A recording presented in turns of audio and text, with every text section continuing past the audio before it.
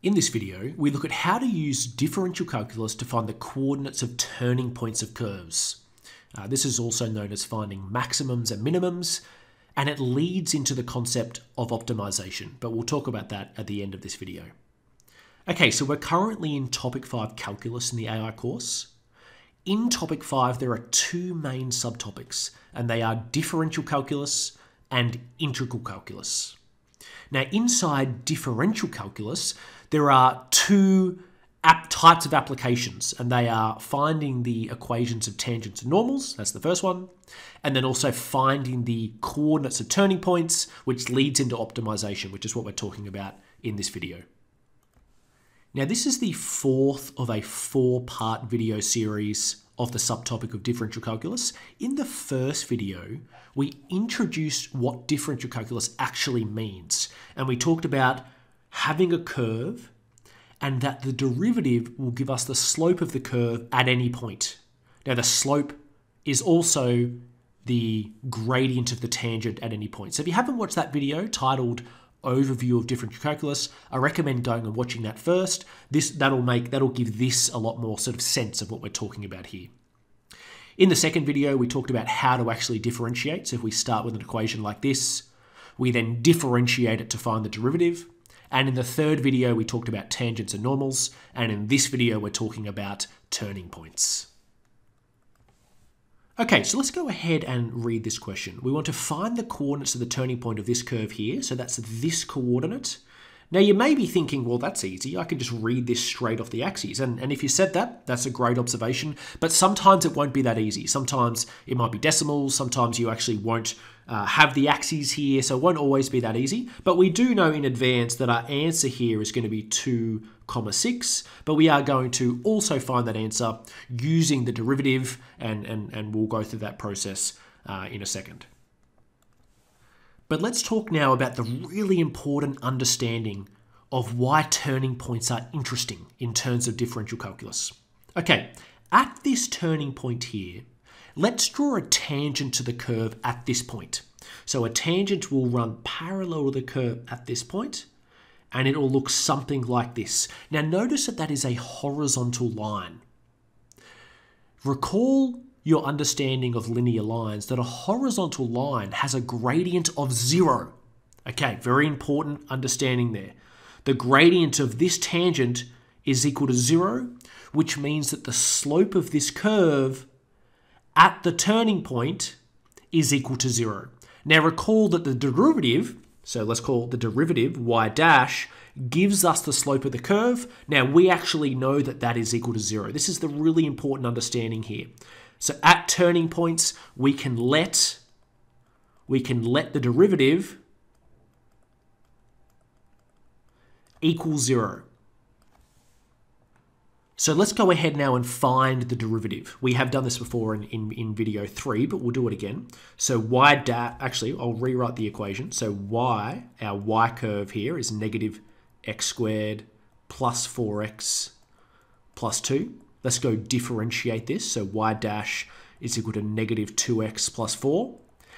Now I'm going to bring this concept back in. At the turning point, the slope of the curve is equal to 0. And I know that the derivative gives me the slope. So I can sort of join these two things together. I'm actually going to let my derivative be equal to 0. So therefore 0 is equal to negative 2x plus 4. And I can use some algebra here to now go ahead and solve for x. Now you may be thinking, well, what's that going to give me? If I solve for x here, that will give me the x coordinate of the turning point. So let's go ahead and do that. I'm going to add 2x to both sides. In other words, take the negative 2x over to the left is equal to 4. Let's now divide both sides by 2.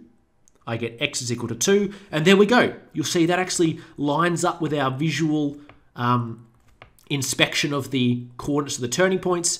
X is equal to 2, so there we have it. We have found the x coordinate of the turning point by using our understanding that at the turning point, the slope is equal to zero, and combining that with, with the derivative gives us the slope at any point.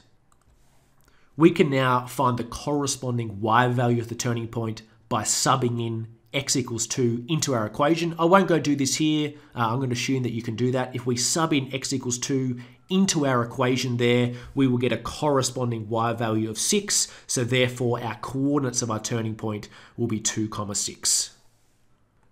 Okay, so there's a demonstration there as to how we can use the derivative to go ahead and find the turning point. Now, this becomes very useful when we lead into these optimization type questions. And if you're an if you're an AI SL student, these will most likely pop up at the end of paper two as one of the harder problem solving questions. And there's a couple of great questions in the question bank, and I, I brought one here about we start with a shape. So we have this storage box here, which is made from a rectangular piece of cardboard, lengths 45 centimeters and 24 centimeters in width. And the corners are cut out to create this storage box. And then we have an equation here for the volume of the box. And we want to find the dimensions of x, which is the uh, measurements of these cutouts that maximize the volume of the box. Really good question, this one. And we can actually plot this particular equation here, which is this curve here. So we have the x dimensions on the horizontal axis, and we have the volume dimension on the vertical axis. And depending on what lengths we use for X, these, these corner cutouts, we can actually maximize the volume of the storing box, which is really useful. We want storage boxes to be large, to be able to fit plenty of things inside it. We are restricted by the initial size of the rectangular piece, but if we can use some smarts and some differential calculus to optimize the cutout dimensions, we can actually maximize the volume. And that maximum volume, that optimal point, will be this turning point here.